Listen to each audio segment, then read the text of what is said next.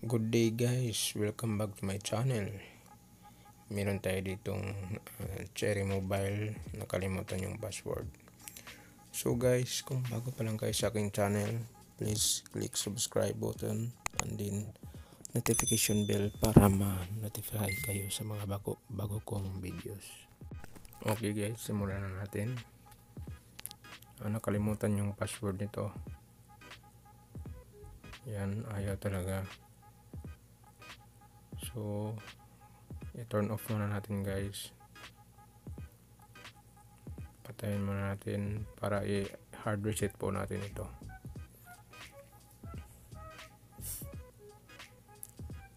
Uh, bubuksan muna natin guys. Tingnan natin kung ano yung model niya. Ito yun, Omega Light 4 Cherry Mobile. So, ibalik natin tapos i-hard reset po natin ito. So gawin natin uh, long press yung volume plus tsaka yung power button. Long press lang natin. Pagsabay natin yung dalawa yan hanggang sa lumabas to. So volume down para sa mag select tapos hintayin natin ngayon, punta naman tayo sa gamitin natin volume down para mapunta tayo sa wipe data factory reset. Tapos press natin yung power button. Tapos punta tayo ng yes. Tapos power button ulit. Yan. So okay na siya. Tapos power button ulit para mag-reboot. System now. Yan na guys. Hintayin lang natin.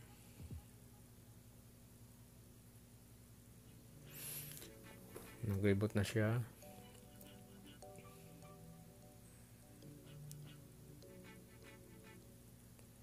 Hintay lang tayo guys. Shoutout nga pala sa mga bago kong subscriber dyan. Salamat sa pag-subscribe.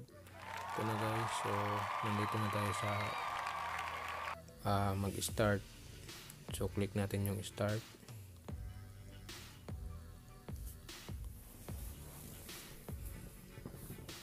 tapos connect natin sa wifi guys para ma ma-update siya. Hindi to mag gumagana pag hindi mo makonect sa wifi. Kailangan ng wifi dito or data ng cellphone. So ngayon i-connect ko sa wifi. Ito nakakonect na siya. So nag-checking for updates na siya. So hintay lang tayo So, ayan na. So, piliin natin yung setup as new. Ayan. Tapos, ito na guys. So, naghingi pa rin siya ng password. Kasi naka naka-protect to. May protection reset siya. So, punta tayo ng iyan na natin yung Google. Oh, yan, this device was reset to continue sign in with a Google account that was previously synced on this device. So, hindi pwede talaga. So, ang gawin natin, i-bypass natin to guys. So, click natin emergency call. Yan, double click natin to. Tapos yung ito, click natin. Tapos add contact. Tapos pili tayo ng kahit anong number. Yan, ito may number ang pinili ko tapos yun click natin ang may number. Tapos may tatlong dot sa taas. Ito piliin natin to. Tapos i-share. Tapos uh, click natin yung gmail. Tapos click natin tong arrow. Yan done. Tapos click natin yung add an email address. Tapos itong sa baba. Click natin itong sa baba exchange and office yan. Dito tayo mag enter ng email address yan. Mag na ako. Tapos password.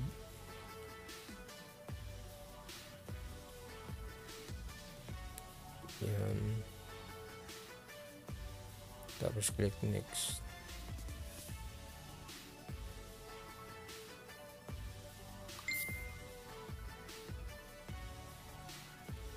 Tapos, select natin to itong certificate. Kailangan tayo maglagay ng ano dito, pattern. Click natin yung pattern. Kailangan maglagay ng pattern talaga. So, yan maglagay tayo. Huwag nyo lang kalimutan yung pattern na nilagay nyo. Yan. So, confirm. Ayan.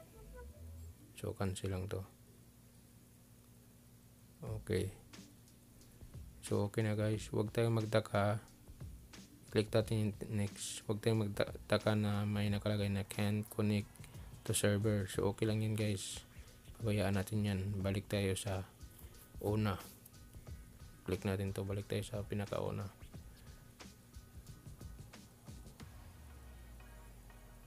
Ayan, balik tayo dito.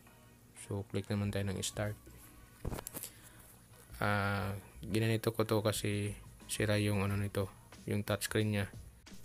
Click lang natin yung start. Tapos, click yung setup as new.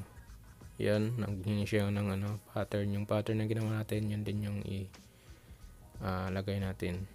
Okay na. Tapos, ito na yung email na inad natin kanina. So, kahit anong email, basta na create nyo na yung email na yun.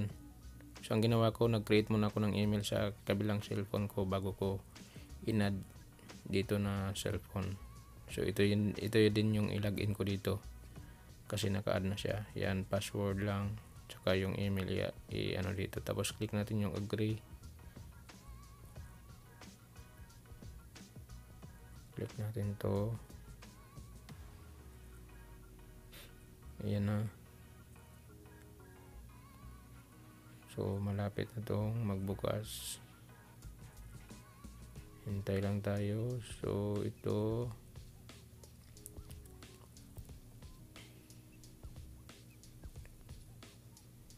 Click lang natin agree ayan no thanks click natin to. So yun na yes. Nandito na guys. So pumasok na tayo nakapasok na tayo. Na bypass na natin yung uh, protection ng Cherry Mobile. Yun. So okay na guys. Nabuksan na natin yung phone. So good job Okay guys, thank you for watching. At kung may tanong kayo guys, just comment below lang. Tapos, kung nakatulong ito sa inyo, please uh, pa-like naman ang video at pa-subscribe naman. Salamat po.